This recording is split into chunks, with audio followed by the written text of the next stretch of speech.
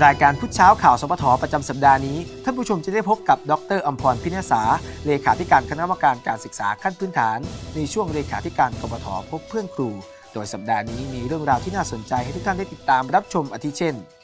เลขาธิการคณะกรรมการการศึกษาขั้นพื้นฐาน ห่วงใยเตือนภัยโรคติดเชื้อไวรัส RSV การทำสัญญาจ้างครูและบุคลากรทางการศึกษา โรงเรียนดี 4 มุมเมือง โรงเรียนคุณภาพประจำตำบล การสอบบรรจุครูผู้ช่วยสพฐนอกจากนี้ท่านจะได้พบกับวิทยากรมากความสามารถที่จะมาให้ข้อมูลข่าวสารอาทิเช่น การเตรียมพร้อมรับมือกับไวรัส RSV โดยแพทย์หญิงธนาวดีตันติทวีวัฒน์จากกรมควบคุมโรคกระทรวงสาธารณสุข และพบกับดรชุติมาหนูพริก พร้อมคณะจากรายการ Kid Rangers สถานีโทรทัศน์ Thai PBS ที่จะมาร่วมพูดคุยถึงโครงการชวนครูวิทย์คณิตมาคิดให้ว้าว